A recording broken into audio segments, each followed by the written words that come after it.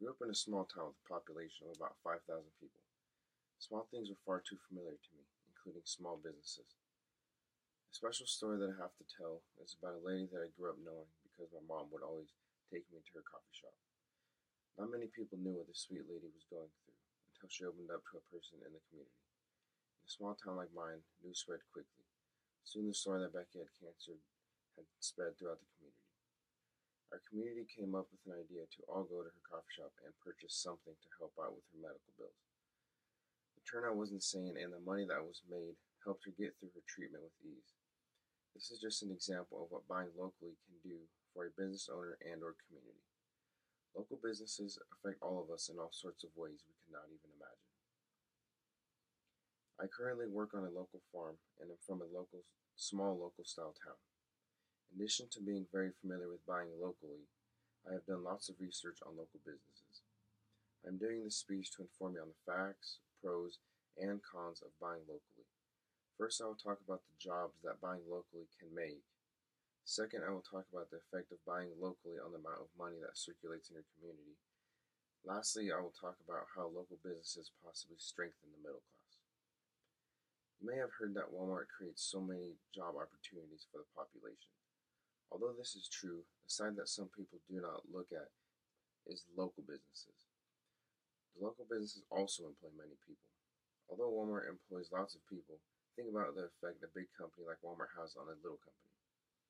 Walmart actually will either put the small company out of business or make them cut their spendings, which will lead to people being laid off.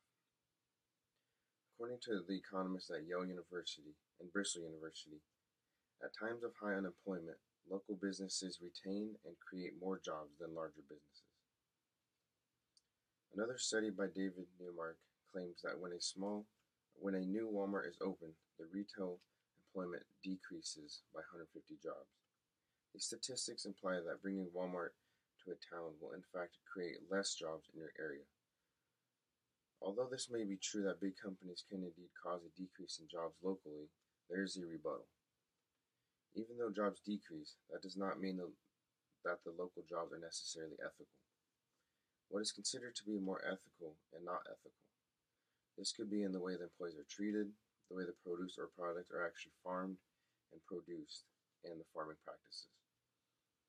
Having local jobs are important, but what is also important is the money that stays within the community when you buy locally. My story at the beginning of my speech is just a small example of how buying locally can keep the money in your community. For some people, it is very important for the majority of their money to, they spend to keep circulating in their own community.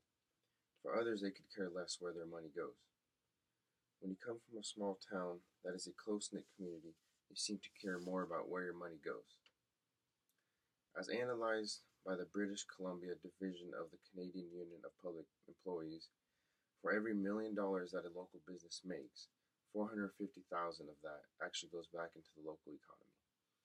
In comparison, a chain business can earn the same million dollars, but only $170,000 will generate local economic activity. In contrast, a big chain may make that million dollars quicker, which would generate less per million into the local economy, but could be making way more money than the local business, which would create more money activity in the economy in total. Another study done by Civic Economics, local retailers returned a total of 52% in total. In another study, in the same study, retail chains, which returned a total of 14% of their revenue into the economic activity. There is always negatives, and the negative is that not all people can afford to buy foods that are locally grown or organically grown because they tend to be more spendy. In other words, not everyone can afford to buy locally grown food. My last point I'd like to inform you about is how buying locally can possibly strengthen the middle class. Buying locally can strengthen the middle class because it will allow middle class citizens to have successful businesses. Also, it will strengthen the middle class by cutting down the pay difference between local business owners and large corporations. According to Miller's article, he states that at large firms, low and medium skilled employees earn about the same or a little less than their counterparts at small firms, while high skilled employees are paid significantly more than similar positions at smaller companies. What does this mean exactly? It means that a person that is working for a smaller company that has a similar job title as a person working at a larger company, there will be a huge inequality in pay. By increasing local activity, this will even out the wages and increase the middle class. You're probably thinking, well, if there is more money to be made working for a larger firm, wouldn't you just want to work your way up to that job? Yes, you are correct. That is the other side of this point. People with higher skills and working at a larger firm will make will make more money working for the larger firm.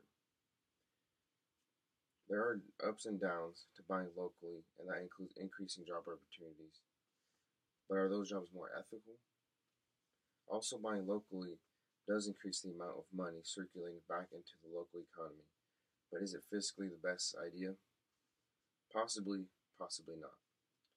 I informed you on the facts, pros, and cons of buying locally. To answer the question and argument about buying locally, there is no direct answer. Instead, there is pros and cons. It is up to you to decide whether or not the pros outweigh the cons.